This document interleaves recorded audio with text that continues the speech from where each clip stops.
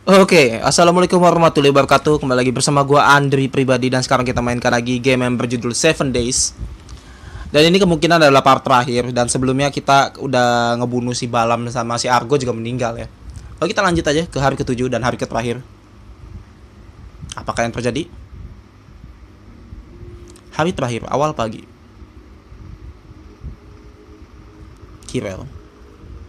Jadi dulu aku ingin meninggalkan orang-orang yang, yang melakukan pekerjaan yang sama denganku dan memulai hidup baru. Oh, jadi si Kirel udah mau keluar.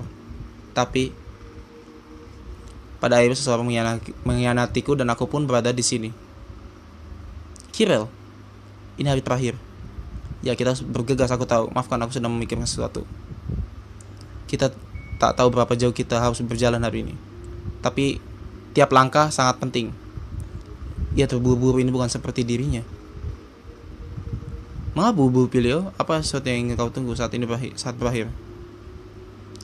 Aku yang memastikan bahwa kau berhasil keluar dari sini. Aku juga berharap kau berharap yang yakin berhasil, tapi ini berbeda. Itu penting bagiku, bagiku pribadi. Kau bersikap seakan-akan mengenalku. Aku tidak menyukainya.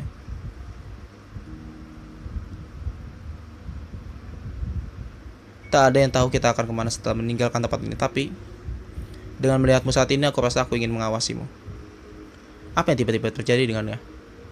Yang mulai membuatku takut. Astaga, aku masih ingin bicara, tapi kita kedatangan teman. Oh. Wah, dia pada datang luar biasa. Mungkin karena ini hari terakhir, tapi jumlah mereka lebih banyak dibanding sebelumnya. Kirel, tolong tunjukkan kita harus ke mana. Aku aku akan memimpin. Wow, ini hal baru. Ini pertama kali aku melihat mengon- melihat mengontrol semuanya. Aku mau lihat mengontrol semuanya. Lucu sekali. Aku ha- harus mengikutimu begitu saja. Begitu saja saat aku tidak tahu apa yang harus kau pikirkan. Apa yang kau pikirkan? Apa nih?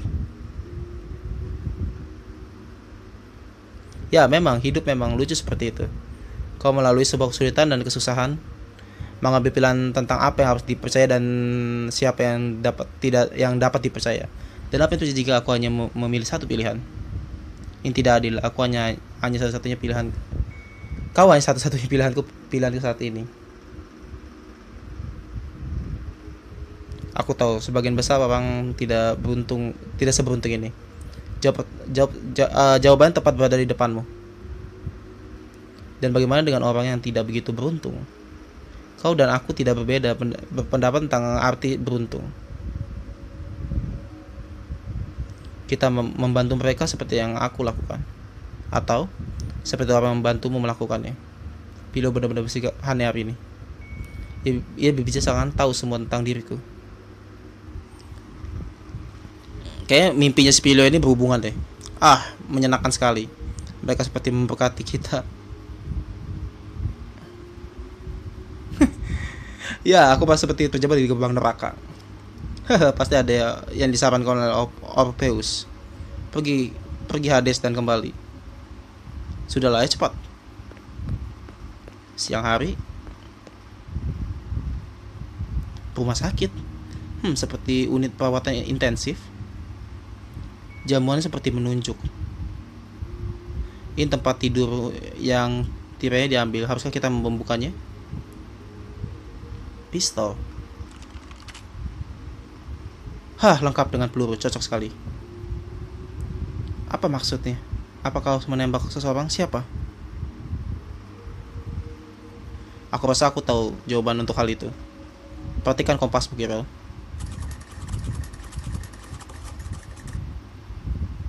Iya, mengarah ke Pilio.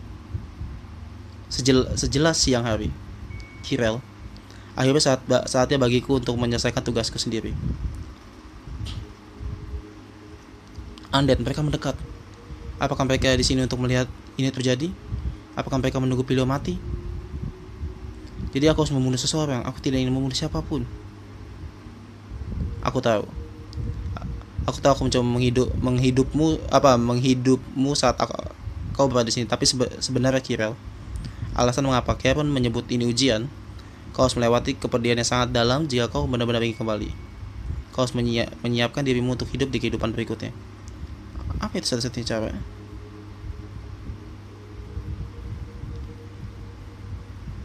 berhenti juga merupakan hal merupakan pilihan. Tak ada lagi kepedihan, tidak ada lagi kekhawatiran, tak ada lagi pikiran, hanya kematian.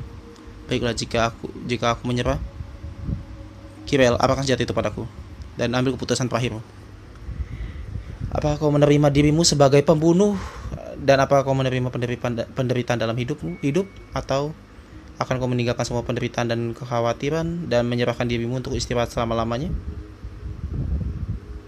Oh, man.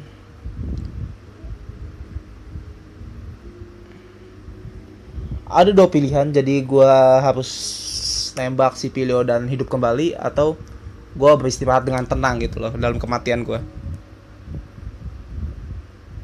gue pengen narik pelatuknya sih jujur gue pengen narik pelatuknya. Karena nggak ketika gue narik pelatuknya ujian orang semuanya selesai. Ah coba deh gue narik pelatuknya. Maafkan aku. Terengah-engah terengah menangis sialan aku benci ini. Perasaan ini. Ini semua terasa sangat tidak asing. Ah Kirel. Ayo kau. Kau sudah melakukannya? Oh apa-apaan? Mereka ke arahku.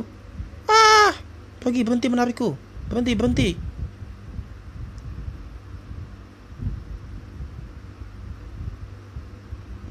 Si Kirel dimakan, gagas Pilo ini. Pilo menghilang dalam cahaya, Andet mendatangi Kirel dan mulai menyerang dan dengan ganas. Kirel tak berdaya dengan serangan dadak itu dan menggeliat kesakitan berteriak kencang-kencang saat semua mulai gelap.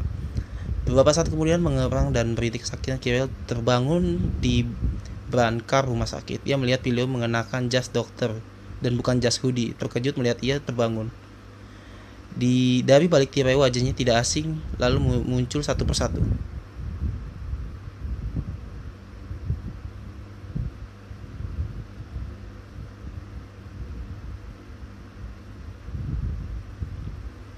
One more time.